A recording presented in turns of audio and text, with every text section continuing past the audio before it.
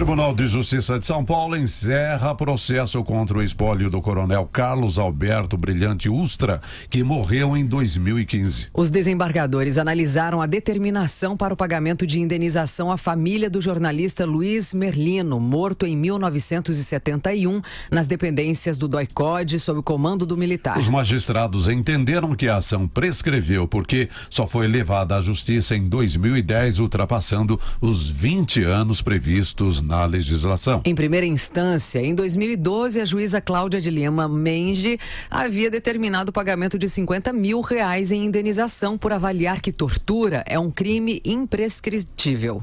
É o Coronel Ustra que vem aparecendo nas propagandas do, do, PT, né, professor? É, eu acho que é necessário ver essa questão com muito cuidado. Isso é uma questão séria.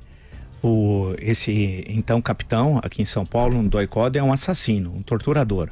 Algo que a gente devia ter nojo e asco de torturador, assim como de terrorista. Então, para mim, o mundo não se divide entre terroristas e torturadores.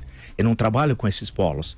Em defensores de ditaduras, o terrorista a favor de uma ditadura de viés comunista e o torturador de uma outra ditadura de viés, entre aspas, direitista. Para mim, o mundo não se divide entre esses dois. Os dois odeiam democracia, as liberdades o Estado Democrático de Direito. Então, o primeiro ponto central é esse. Segundo, portanto, ele é um torturador.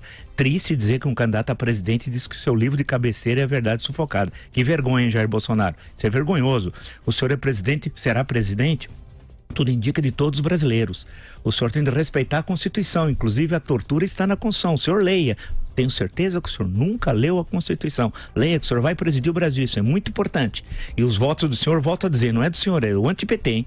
Ponto 2. A lei da anistia de agosto de 1979 é muito clara sobre isso. Um, o que, é anistia? Houve um esquecimento. Um esquecimento. Portanto, os crimes que os terroristas cometeram, e cometeram muitos. Quantos não morreram de atentados terroristas? Quantos? Né? assaltos a banco, né? atentados como ah, em, em, no, no, aeroporto em Recife, né? Ah, etc, etc, etc. Isso é em 1966. Você podia citar um monte de atentados terroristas aqui no Segundo Exército, né? No então Segundo Exército, hoje o Comando do Sudeste, né? O Consulado Americano, que era na época no Conjunto Nacional, e podia citar inúmeros atentados terroristas. Houve um esquecimento em relação aos atentados terroristas. Se houve um esquecimento em relação aos atentados terroristas, de acordo com a anistia de agosto de 79, também tem de haver o esquecimento em relação a atos bárbaros tais quais os terroristas, que é os atos de tortura.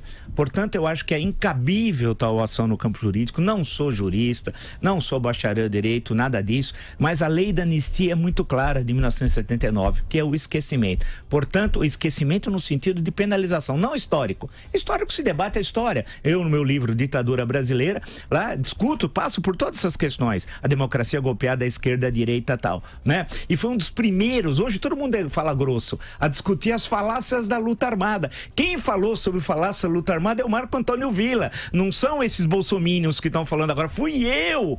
Fui eu no governo Lula que tive coragem de colocar, escrever na Folha de São Paulo e um debate intenso mostrando que a luta armada não levou à democracia, não. Que a luta armada queria no Brasil era uma ditadura comunista, de viés cubano, soviético ou chinês. Quem falou foi o Marco Antônio Villa. Nessa hora, Bolsonaro estava quietinho, votando com Lula. Quem estava batendo de frente com Lula era o Marco Antônio Villa. Registra, hein?